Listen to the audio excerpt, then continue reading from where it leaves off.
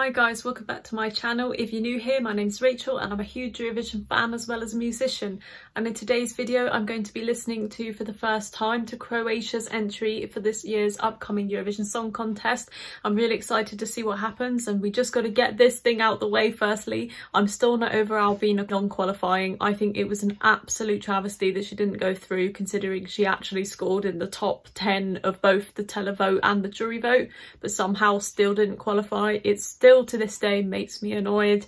So I'm hoping Croatia has brought something good to the table this year to ensure that they qualify because I think in order for them to qualify they've got to send something really original, really strong and something that makes them stand out, something that gives them a real identity. So let's see what's happened this year because they have selected Mia Dimšić who won the national final and the song is called Guilty Pleasure.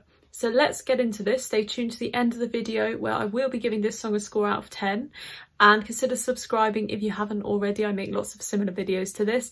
So without further ado, let's get straight into this.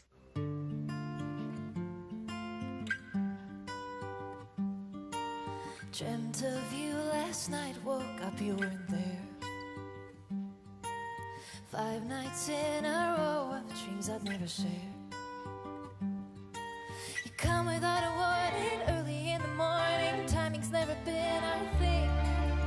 Leaving me with guilt The only souvenir you bring.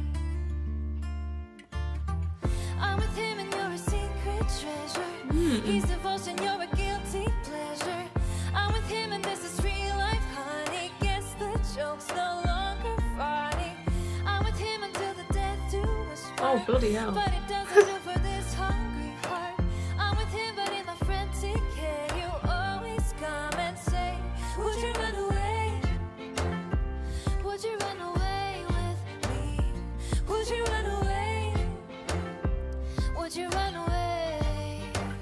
Mm. So let's just set something out the way firstly, because I'm sure every single person that's listened to this immediately thought this. Yeah, it sounds like a Taylor Swift song. That's the first thing I thought of. The way it's being performed vocally, as in the melody, the way it's been written, the guitar, the instrumentation, everything about it is very Taylor Swift. Apart from the sound of the vocal, it's actually quite Carly Rae Jepsen. So it's a bit of a combination of those two things. But let's put those to the side because I don't want to focus on things like that because I want Mia to have her own style and I want to review her song because as if it's her own thing, it's her as an artist. So let's forget about the Taylor Swift stuff for now. Something I really like so far is the laid back quality of this. Guitar, a nice uh, violin string section as well in there, although it sounded like it was being played on a keyboard and not actually real strings.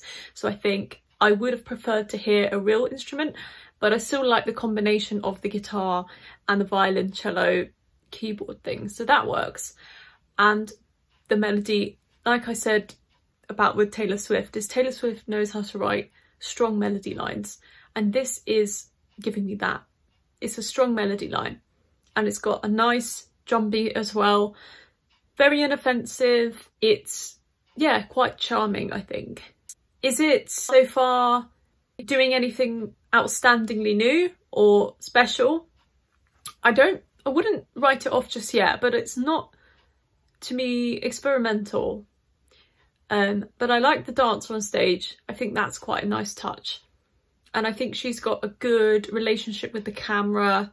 She knows how to perform it, especially she's engaging the audience because with quite a laid back song like this, you've got to know how to engage your audience. And I think she is doing that. And I like her outfit and I like the, the aesthetic overall. So let's keep going. Let's see how it develops. Love is enough,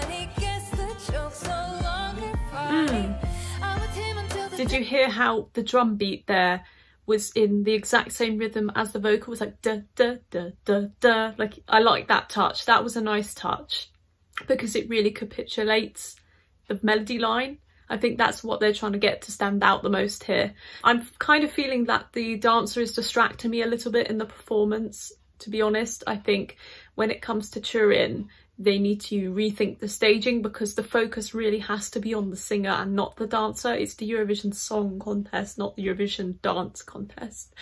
But something else I really like about this is the chords. The chord progression is quite nice because they're using a movement where they move to chord 5, chord 5 major and then chord 5 minor immediately after that. So it takes the tone of it, the mood of it to a different place. It's got a diff it's got a very Taylor Swift-esque musical soundscape because it's using these particular chords to create a nice atmosphere and to, I think, play with the emotions of the song as well. It doesn't seem like this song is supposed to be a happy song or a sad song. It's somewhere in between. I mean, I know that I know that those are extremely high level terms, but um, that's the best I can do to explain. So let's see exactly what happens next.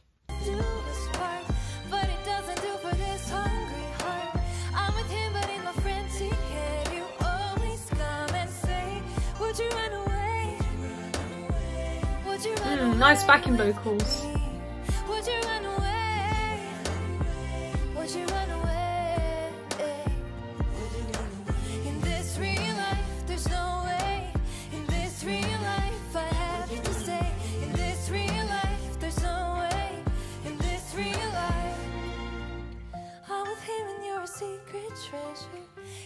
Devotion, you're a guilty pleasure.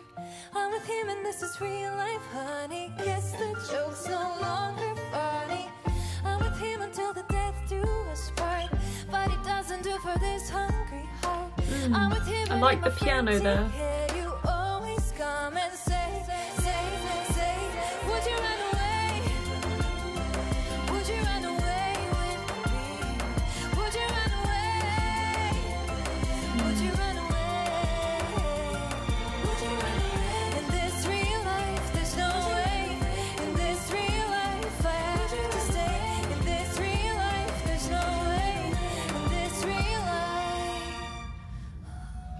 Nice ending there.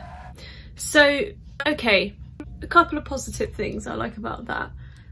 This is a double-edged sword, okay. The backing track is really nice in its sparseness. You've got just a light drum, no real snare in there. It's just a little click noise as well, um, which really makes it quite laid back.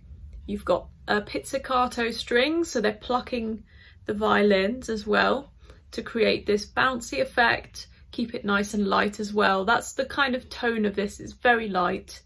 And a nice piano played at the very high range, so the high notes are right at the um, far right end of the piano. They'll be like making a tinkly noise there, which is also quite nice. And then a really light bass. But at the same time, when you've got things like that, it loses a bit of power. And I think what's missing from this is power. So in order to fix that, they have to really turn the volume up on a lot of those instruments. And the backing vocals they were using were a nice touch, but they needed to be louder and thicker. It felt like there was maybe three parts and I would make that a five part harmony instead or a six part harmony to really boost it out. And once you got those things there, you've got actually a really strong entry. So I think there's a lot of potential here. There's a couple of things I would change, obviously, like I said, but I like the chorus, I like the melody of it. It's very simple but very sweet and light and I like that because it's quite just charming really and it's done its best to be charming and I think that's always a good thing at Eurovision. So those are my thoughts. I think in terms of a score out of 10 with the provision that they could hopefully change the staging because at the moment it's a bit bare and it really needs to have a bit more power. So I'm going to give it a six and a half out of 10 for now, but it could get higher later on if I see that they start making a few changes. So those are my thoughts, but let me know in the comments down below what you guys think as well. And stay tuned for more content and I'll see you soon for more reactions. Bye.